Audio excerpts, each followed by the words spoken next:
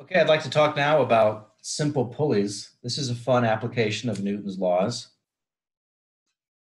I have here a little cartoon 100 pound weight.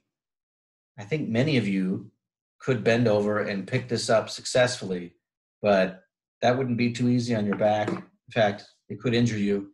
So a lot of us are, are capable of lifting 100 pounds off the floor, but it's not desirable. It would be much easier if you could pull down on something with the force of 100 pounds than to lift up.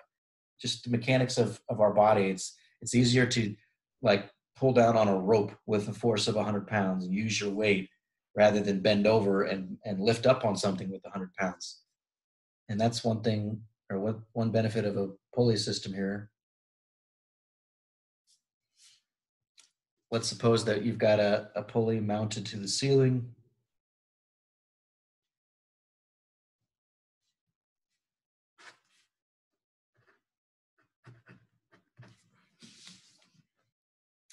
And now you can see that, uh, well, if, if you wanted to lift this off of the floor at constant speed, get it to rise from the floor at constant speed, or just have it suspended. Let me redraw this.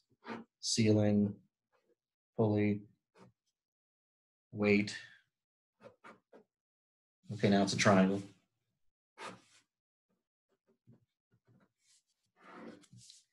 If you just want this thing to hang there, let me fix that.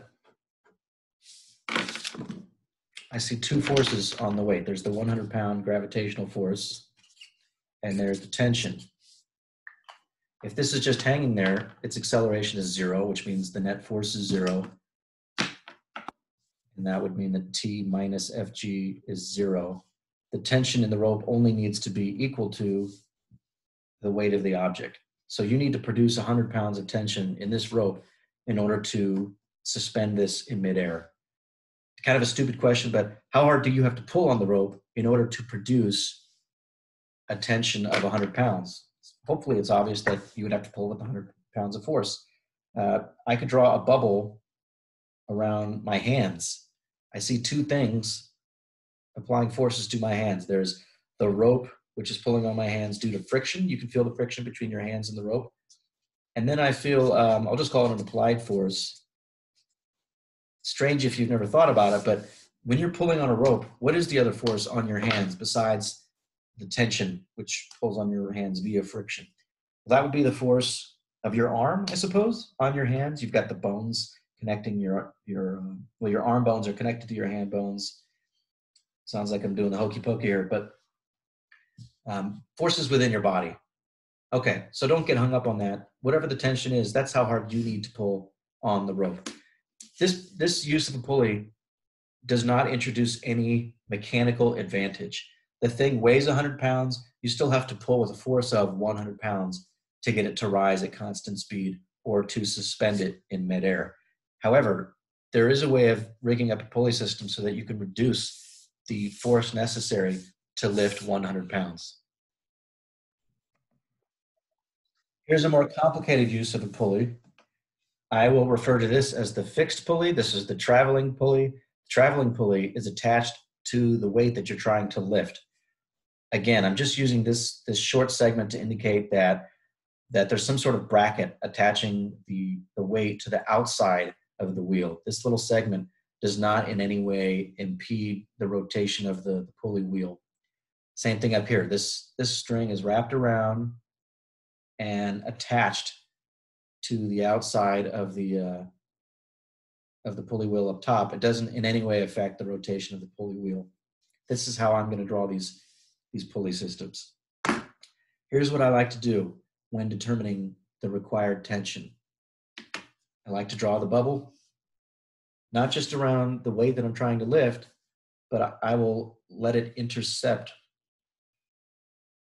the rope because this makes it easier for me to see that there are actually two contact points between the rope and everything inside this bubble.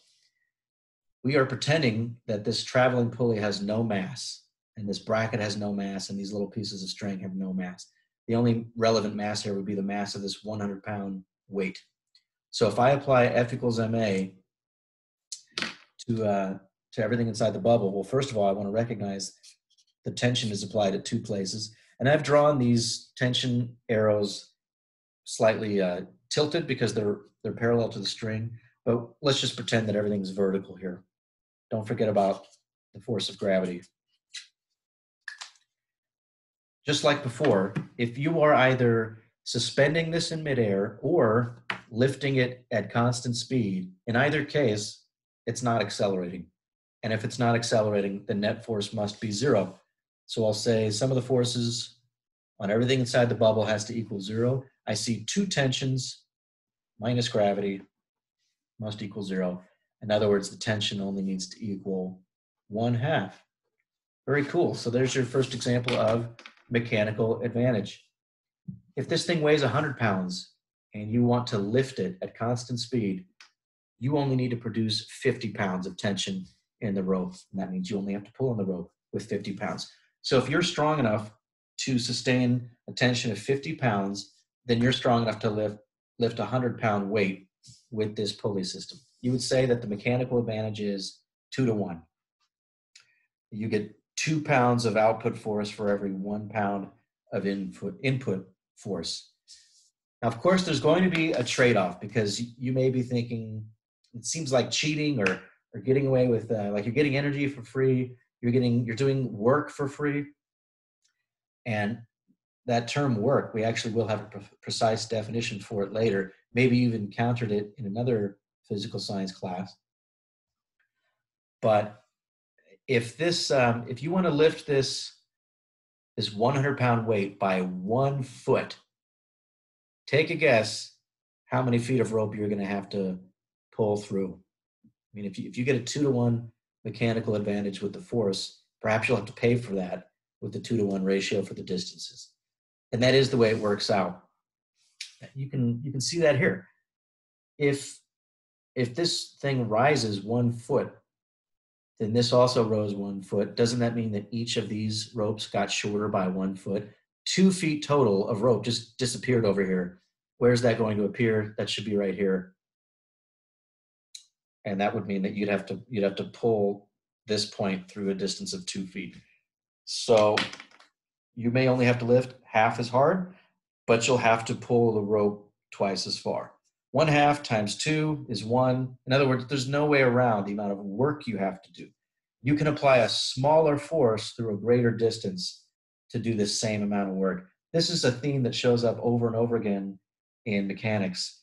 If you've ever ridden a bike uh, with more than one speed with the gearbox, then you know all about this. If you want to ride a bike up a steep hill, you could put your bike into into eighth gear and push real hard on those pedals so that your your feet are moving very you know you're turning the pedals very slowly as you as you go up the hill but pushing real hard and you know you'd be popping some veins in various places or you could put the the bicycle in first gear and you'd be pedaling through many more rotations, but it's a lot easier on your body. So you can apply a small force through a great distance or a great force through a small distance. Either way, same amount of work done. Let's look at another example of this. Here's a very similar setup, but the rope has been passed around the pulleys a second time. Not a great sketch, but here's the the shiv or sheave i forget how it's pronounced the pulley wheel if you looked at it from the side you'd see these grooves so that you can wrap the rope around multiple times. So um, imagine that this has been wrapped over once and then it comes around wraps again and then goes off down here where somebody can grab it. So one of these ends would be uh, well let's take a look from the side here. The rope goes around the top pulley the fixed pulley under the traveling pulley and then it goes around and over the fixed pulley again under the traveling pulley again before finally attaching uh, to the outside of the fixed pulley. Remember, this does not at all affect the rotation of the pulley. It's just got to be, the rope has to be anchored somewhere. Just like before, you can draw a bubble around the 100 pound weight the traveling pulley, and then a little bit of this, the uh, rope just above the traveling pulley. And that makes it easy to count. One, two, three, four contact points. So I could draw four arrows, each of them labeled T, or just a single arrow labeled 4T. There are four tensions lifting up, gravity lifting down, and once again, if you're lifting this at constant speed or just suspending it in midair, the sum of the forces would need to equal zero. If, if this mass was accelerating, you'd have an MA term over here. That would be a little different, but still easy. Okay, in this case, the tension would only, only need to be one-fourth the gravitational force. So let's just suppose, that, uh, well, if this was 100 pounds, you would only have to pull on the rope with a force of 25 pounds, which is much easier. Of course, you're going to have to pull that rope through four times the distance in order to lift this, the desired distance. Um, think of it the other way, though. What if, what if you are capable of pulling on this rope with 100 pounds of force? Because the mechanical advantage is four to one, if you put 100 pounds of force in, you'd get out one, two, three, 400 pounds. You could lift something that was 400 pounds if you're capable of pulling with the force of 100 pounds. It's kind of interesting to ask, you know, what are the limitations to this? First, we started with a, a mechanical advantage of one to one, then two to one, four to one. Can you just wrap this around? I mean, what if we had so many grooves here, you could wrap it around 10 times and perhaps get a mechanical advantage of 10 to 1. You could lift anything, it seems like. Well, of course, how come you can't stand in an auto shop on an auto shop garage floor and lift, I don't know, a cruise liner, like a giant, one of those giant uh, Royal Caribbean cruise ships, while standing on the uh, the floor of the garage or the auto shop. What's you know what's what's the breaking point, so to speak? I'm fairly certain that the rope would break well before you could lift something that heavy. Wouldn't you just bring the whole building down? Wouldn't the ceiling come crashing down? So you'd have to also look at something like this.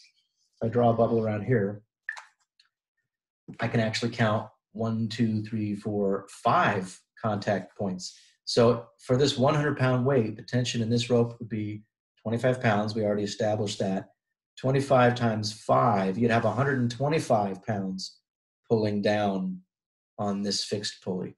And that would mean that, that the force of the, in the chain, the tension in this chain up here connecting the fixed pulley to the ceiling would have to be 125 pounds you can kind of see that if you just step back and take a bird's eye view of this whole problem. What's pulling down on the ceiling? Well, there's the, the 100 pound gravitational force that's ultimately transmitted to the ceiling, but there's also you pulling down with an extra 25 pounds. So you can't just lift anything you want by using more and more turns. Also, eventually you're, you're going to get significant friction building up between your rope and the pulley. So if you go to Wikipedia and look up uh, block and tackle. I think that's an old sailing term for pulley systems. They'll have some diagrams of common block and tackle configurations that are used on ships. And I think you tend to see no more than six turns. If you ever pull up, uh, or if, if you pull up photographs of cranes, industrial cranes that are used to, uh, you know, for high, high-rise construction, and you look at those pulleys, same thing. So the friction also becomes a limiting factor. And that's a little weird to think about because what is it that, that makes this wheel turn to begin with? As you're lifting something, the pulley wheels have to turn. Well, what's touching the pulley wheels to get them to turn? That would be the rope. And that's friction. There's got to be some sort of static friction between the rope and the pulley wheel. So you need the static friction, and yet on the other hand, it becomes prohibitive with too many turns. I don't totally understand that, but maybe you have some insight there. I want to look at one or two more examples of simple pulley arrangements. And for this, I will go to YouTube. So let me share the screen. This software that I'm using, Zoom, it's got one major flaw that myself and some other people have, have noticed, which is that you cannot begin and end recording while you're in the screen share mode. Okay, so here's uh, here's YouTube. I've got this video posted on Canvas. Here's the name of the video. This guy's demonstrating a number of different practical pulley arrangements. I really encourage you to take some time to go through this video and apply Newton's laws to the uh, to the load here. That's what you would call this the load. And when you implement the method that I just described in the previous examples, you're going to pretend that these traveling pulleys are massless. Don't worry about the mass of these pulleys. And in actuality, they're not very heavy anyway. The same is true for these carbiners and, and the, um, the rope that, that's attaching the, the traveling sheaves to the load. Okay, so let's turn this into a free body diagram. I took a screen shot. Let's see, so I have to stop share and then share again so I can switch to a different application, in this case, PowerPoint. Ah, so here's, here's the image.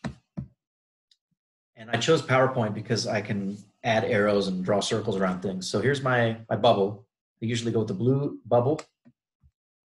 And I've purposely positioned the bubble so that it encloses the mass that I'm talking about, but it also uh, intercepts these, these ropes. So I can see the number of contact points. I count one, two, three, four contact points. And I've got a quiver of arrows ready to go here.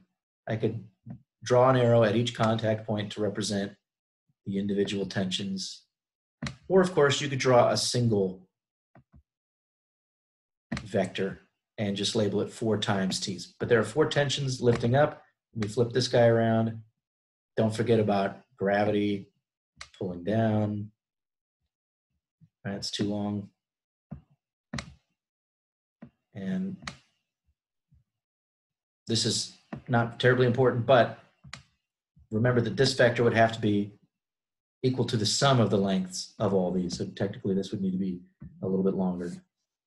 Okay, if, since he's just suspending that thing, the net force on everything inside this blue bubble has got to be zero. And let's see here, new slide. Get rid of this junk and insert an equation. So sum of the forces has to equal zero. Let's make this font larger. So I've got four tensions pulling up and gravity pulling down. That's got to equal zero. And you can solve this and find that uh, the tension would only have to equal one fourth of the weight. Much like the previous example, the difference here is the way the pulley is configured. Instead of having a single traveling pulley attached to the load and wrapping twice around that traveling pulley, we actually have two traveling pulleys. And he's probably just done that so it's easier to visualize. Okay, I will pause now and go to a later part of the video where he's got a more complicated arrangement. Actually, before doing that, we need to look briefly at some situations in which the tension is not necessarily the same throughout a rope or a string. So here's a person with one one arm outstretched and in that arm or in that hand they're holding a rope which is supporting the weight of something heavy and this rope let's say the rest of the, the rope just hangs down like this and it's coiled on the floor whatever. I know it's it's another da vinci here. Someday this is going to be worth a lot of money. Yeah that drawing is so bad. If if you hadn't heard the the context of the discussion here, you'd have no idea what you were looking at. But what I'm getting at is here, even this is a even the even if this is a single piece of rope, ten feet long, the tension here has to be equal to the weight of this guy, right? If you draw a bubble around this, tension has to be lifting up just as hard as gravity is pulling down. So if this weight is 50 pounds, the tension in the rope would have to be 50 pounds. But the tension over here is clearly not 50 pounds. We like to use that word slack or loose. If, if the rope is not under tension, we say that it's slack. So the tension here could be practically zero. That's one rope with two different tensions. We don't always have to assume that the tension is the same throughout. And one way to achieve that, instead of uh, grabbing a rope with your hand, you could grab a rope with another piece of rope. In other words, with a knot. So let's look at something else here. I've pulled up my browser, and of course, the menu options for for Zoom are in the way. Okay, good. I was able to get to the tab I wanted. I just pulled up some images of a so-called Prusik or Prusik knot. It's a way of tying one rope around another so that it can grip the uh, the rope. Um, well, the the Prusik knot grips this rope. You can Google that, look at some images. I think climbers often use these. You can use it for a rescue operation. It would be good for um, if you've got somebody in a harness, you can attach that harness to another rope and haul them out to safety. But this acts a lot like a person's hand grabbing a rope. And you just want to know for the purposes for, for the purpose of these related problems that the tension on either side of this Prusik knot does not necessarily need to be equal. The tension here can be different from the tension here. And I will also refer to this as a friction hitch. Friction hitch. Let me stop sharing. Prusik knot. That's going to be equivalent to a friction hitch because it could be some other mechanism for grabbing onto the rope. It doesn't have to be a Prusik knot. And the, uh, the video that we looked at on YouTube has an example like that.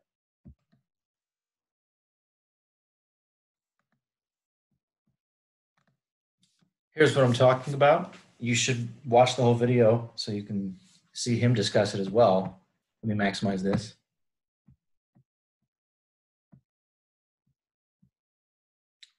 Okay, this is a different arrangement than he had previously. Same load, this time there's one traveling pulley attached to the load and then a, just happened here.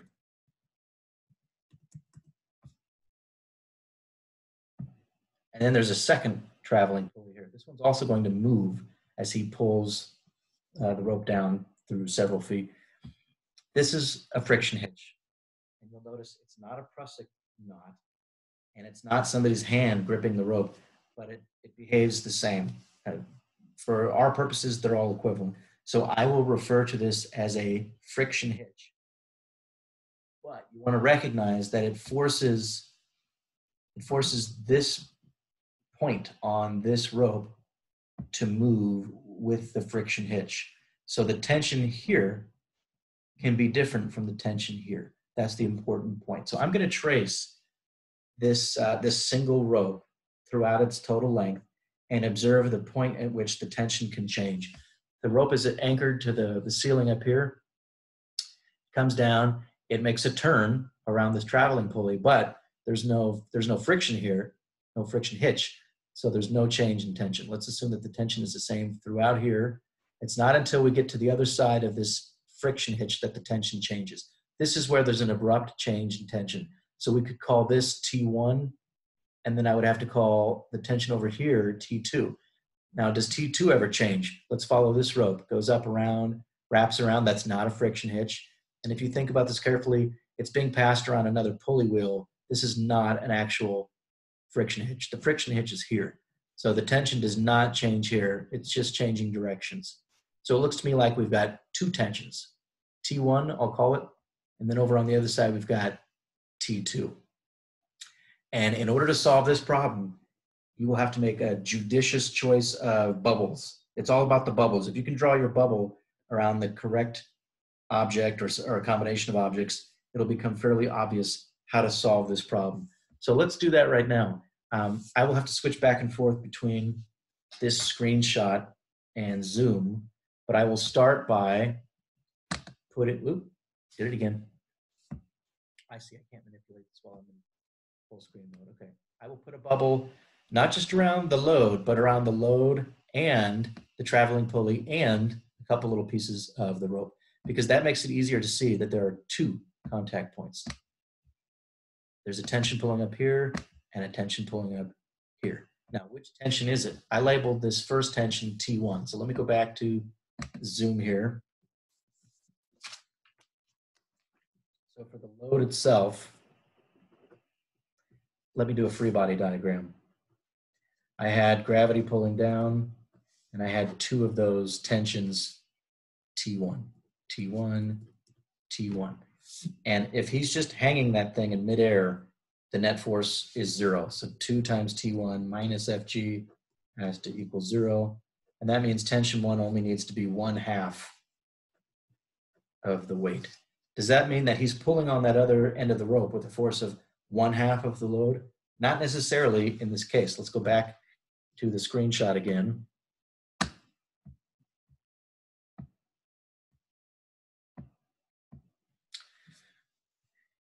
Uh, the equation that I just wrote solved for T1 in terms of the weight, but the force that he's applying right here is not T1, it's T2. When we jump to the other side of the friction hitch, this is tension T2. T2 just changes directions. The tension in this rope is T2. That's how hard he has to be pulling on the rope. So we need to figure out what T2 is in terms of T1. And there's probably more than one way to do this. Here's how I do it. Let me get these arrows out of the way. If you make the right choice with your next bubble, then it's easy to answer this question. I'm going to put a bubble around the friction hitch and this traveling pulley, and I'll have it cut through the various ropes. I made sure to cut through the, uh, the ropes that have tension T2 and to cut through the rope that has a tension of T1 because when I write my equation for this bubble, I want T2 and T1 to show up in that equation so that I can relate the two. So I've got three of these tensions and notice those are all T2. They're all parts of the same section of rope. Oh, yeah, exactly. And I've got one downward arrow here. That would be tension T1. You may be thinking that we're going to have to write a second downward force corresponding to the, uh, the weight, a vector for the weight. But remember, we're pretending that everything here is massless except for the load. The friction hitch has no mass. This little traveling pulley has no mass, and these pieces of rope have no mass. When you go to write F equals ma, if there's no mass, you set those forces equal to zero. Okay, so for the, I'll just call it friction hitch. Let me go back to Zoom. Now I'm doing a free body diagram for the friction hitch. If I recall, we had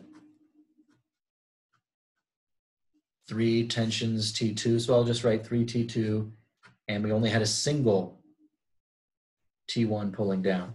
Three T2 minus T1 has to equal zero because I said the sum of the forces are zero. This thing has no mass, so MA is zero. And we already know what T1 is in terms of the weight. Let's solve for T2.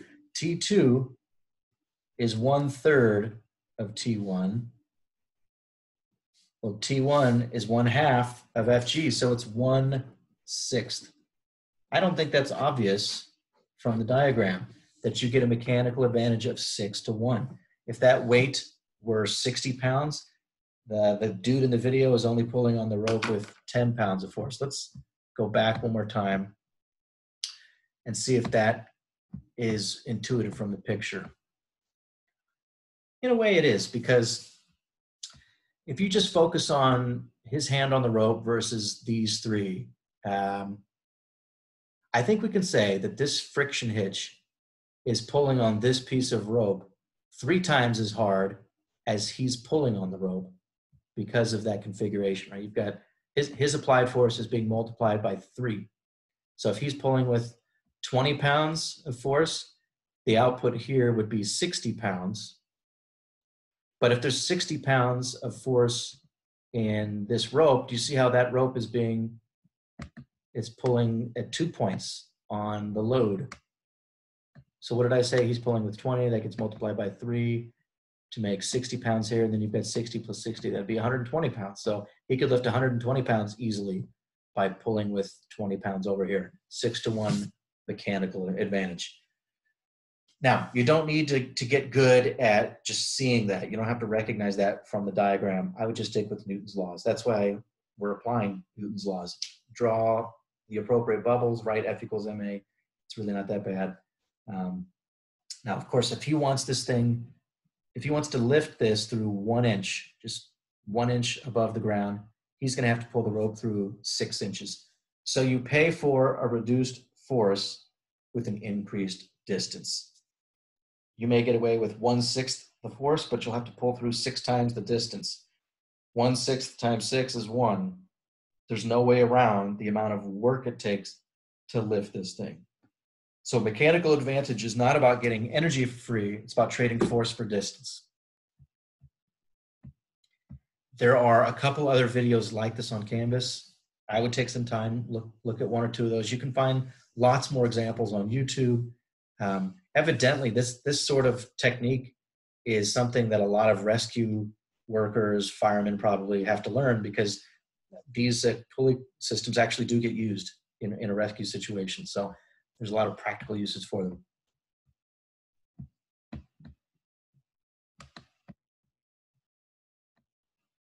Bye-bye.